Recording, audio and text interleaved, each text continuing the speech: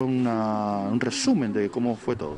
Sí, la verdad que fue una, reunión sumamente interesante y productiva. Intercambiamos con, el gobernador. Bueno, por un lado, en mi representación como funcionario, presidente de Astillero Río Santiago, sobre la posibilidad de complementación de trabajo con todo lo que tiene que ver con la energía renovable. Tuvimos la actividad de ayer sumamente importante y también con la cuestión de que el astillero puede ser proveedor de servicio para el sector minero y bueno, y la cuestión logística, la interrelación de San Juan con la zona del puerto de La Plata, Ensenada.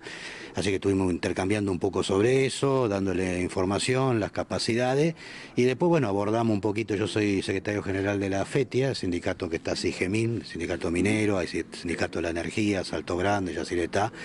un poco planteándole la visión nuestra como trabajadores y como representación sindical sobre cómo tenemos un modelo productivo que, implique el desarrollo de la ciencia y tecnología y de actividades eh, que tienen su complejidad como la minería y la producción industrial y que estén a servicio también del crecimiento económico, de la inclusión social, de producir trabajo con buenos salarios y obviamente cuidando el medio ambiente, o sea, teniendo una, una estrategia de desarrollo y más que nosotros como trabajadores lo que queremos es que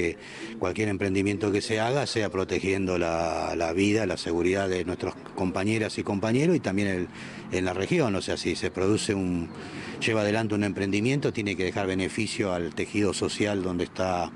implicado el proyecto productivo, este no importa cuál sea, y a la vez tiene que dejar un rédito positivo para un cambio que, está sufriendo la humanidad en este momento, que es la conversión de la matriz energética. O sea, nosotros que... Muy pronto, porque la reunión fue ayer con respecto al lanzamiento del clúster y demás, pero del, del lado del astillero, ¿cuál sería el volumen que en esta sinergia comercial con San Juan, cuál podría ser el volumen eh, laboral de aquí en adelante?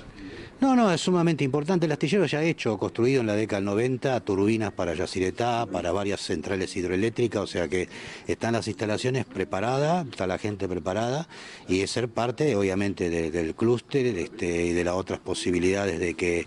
podamos desarrollar trabajo. Y con respecto a los molinos eólicos, tenemos una estructura metalmecánica para poder hacer las estructuras metalmecánicas de los molinos. Este, las torres hay una empresa privada que lo hace, pero el astillero podría, lo que es la estructuras metálicas, que bueno, son piezas de 25 toneladas para los generadores de 10 mega, 15,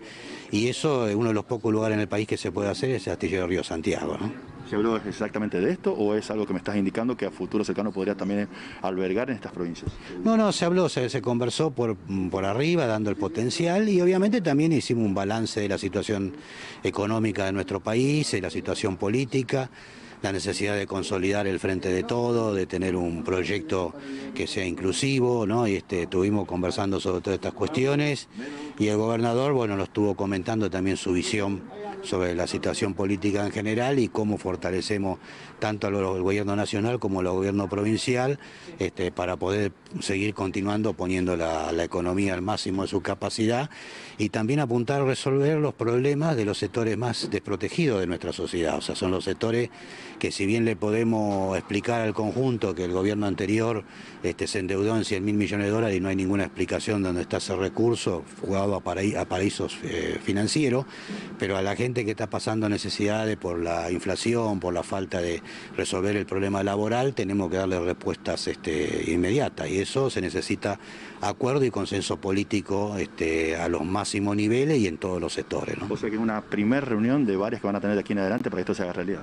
Sí, sí, por supuesto, o sea que vamos a estar viniendo a la provincia de San Juan y otras con este tema del clúster, clúster y obviamente también con la cuestión de la problemática del desarrollo de la minería, y la necesaria eh, cambio en la matriz energética que tenemos en nuestro país, que es heredada de la política de Menem y Caballo, eso es necesario cambiarlo y modificarlo para poder eh, tener una matriz energética que sea sustentable y sostenible, que necesite menos subsidio del Estado, este, para en todo caso que los subsidios vayan a parar a los consumidores de energía que no puedan pagarlo porque no tienen trabajo o porque están en condiciones, pero no que estén derivados a grandes corporaciones que después eso no viene en beneficio del conjunto. O sea, hacer una política del Estado Nacional de subsidio inteligente en el tema y bueno, y reconvertir la matriz energética en,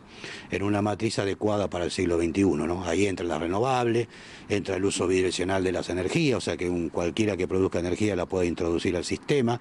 los dan los precios, o sea que se le paga a la hidroeléctrica, a las generadoras térmicas, a las generadoras renovables para que tengan precio competitivo y puedan seguir desarrollando, cómo tenemos centro de investigación para mejorar esas, capacidades, qué pasa con el mercado eléctrico nacional, las líneas de transmisión de gran poder, cómo se optimiza también hasta cosas muy sencillas, o cómo vamos a construir acá en el futuro para tener necesidad de uso de menor energía este, en, las construcciones de la vivienda de nuestra población, ¿no? Y así como eso, tantas cosas que derivan de este tema, ¿no? Muchas gracias.